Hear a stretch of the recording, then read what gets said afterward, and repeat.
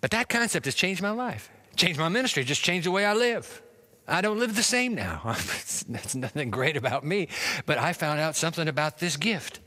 Because you know what the deal about the Holy Spirit is? When you get the Holy Spirit, you get Jesus. You can't get one without the other. That's what's kind of cool about the gift. If you want Jesus, you need the Holy Spirit. If you want the Holy Spirit, you need Jesus.